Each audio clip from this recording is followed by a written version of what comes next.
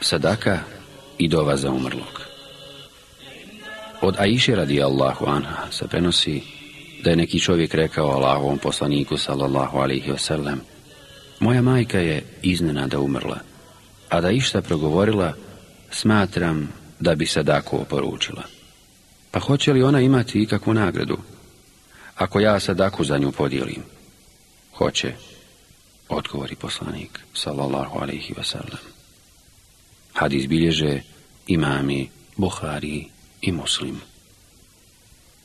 Ebu Hureyre, radi Allahu anh, navodi da je Allahu poslanik, sallallahu alaihi wasallam, rekao Kada čovjek umre, prekidaju se njegova djela, osim vakufa, to je trajne sadake, znanja kojim se iza njega koriste ljudi i dobro odgojenog djeteta koje doučini za njega. Hadis bilježi imam muslim. Pohvala umrle osobe. Od Enesa, radi Allahu an se prenosi da je rekao, pronesen je jedan mejit i ljudi su o njemu lijepo govorili, pa je Allahu poslanik sallallahu alihi wasallam rekao, Ueđebet. Potom je pronesen drugi, pa su ljudi o njemu ružno govorili. Pa je poslanik sallallahu alihi wasallam ponovo rekao, Ueđebet. Omer radijallahu an tada upita, šta znači ueđebet?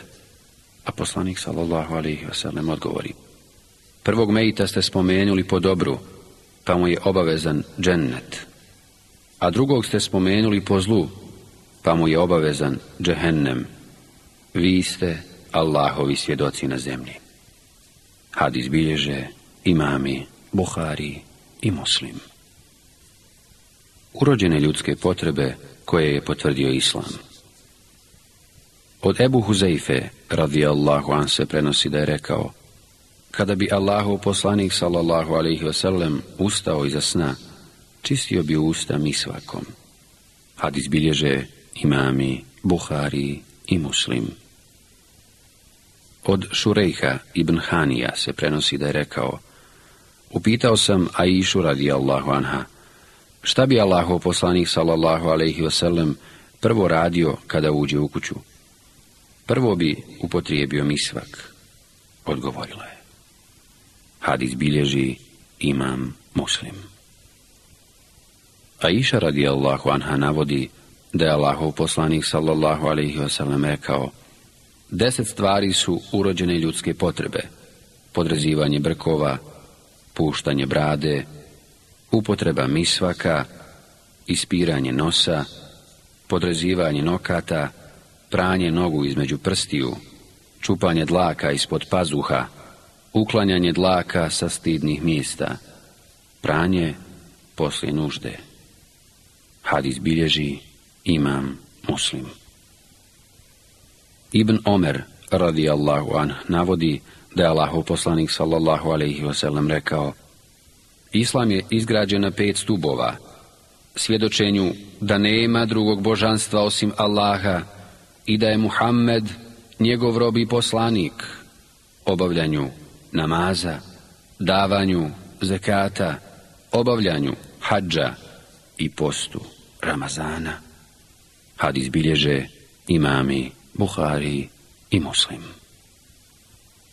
Post Ibn Omer, radijallahu anh, navodi da je Allahov poslanik, sallallahu alaihi wasallam, rekao Islam je izgrađen na pet stubova, svjedočenju da nema drugog Boga osim Allaha i da je Muhammed njegov rob i poslanik, obavljanju namaza, davanju zekata, obavljanju hađa i postu Ramazana. Ebu Hureyre, radijallahu anh, navodi da je Allahu poslanik, sallallahu alaihi wasallam, rekao Uzvišeni Allah je rekao Svako čovjekovo dijelo pripada njemu, osim posta, on pripada meni i ja za njega posebno nagrađujem. Post je štit, pa kada neko od vas posti, neka ne govori ružne riječi, i neka ne viče. A ako ga neko napadne, neka kaže, ja postim. Zadah iz usta postača je bolji kod Allaha od mirisa miska. Postač ima dvije radosti. Kada iftari, raduje se svom iftaru. I kada susretne svoga gospodara, obradovat će se svome postu. Hadise bilježe imami, Buhari i Muslim. Sehl ibn Sa'ad radijallahu anh navodi da je Allahov poslanik sallallahu alaihi wasallam rekao jedna od osam džennetskih vrata zovu se Rejjan. Na njih će ući samo postači, reći će se gdje su postači, oni će ustati kada uđu, ona će se zatvoriti.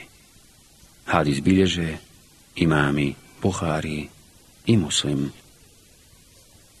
Ebu Hureyre, radijallahu anh, navodi da je Allahu poslanik sallallahu alaihi wasallam rekao Ko posti Ramazan, vjerujući u Allaha i nadajući se njegovoj nagradi, oprostit će mu se grijesi koje je do tada počinio.